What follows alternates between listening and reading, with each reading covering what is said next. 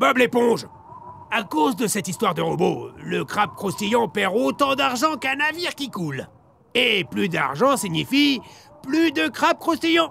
Et plus de crabe croustillant signifie euh, plus de place de cuisinier pour toi. Plus, plus, plus de cuisinier? Mais comme tu es naïf, je vais t'aider à t'en sortir. Et bien sûr, faire un peu de, de, de profit au passage. J'ai quelques spatules dorées que je suis prêt à te troquer contre ces objets brillants. Vraiment? Bien sûr À quoi servent les employés hmm? De plus, les objets brillants ont une forte valeur. Bon, ton coffre au trésor me semble bien léger, gamin. Euh, Tu crois que j'ai quoi? Dans le crâne Je suis pas une association caritative, moi.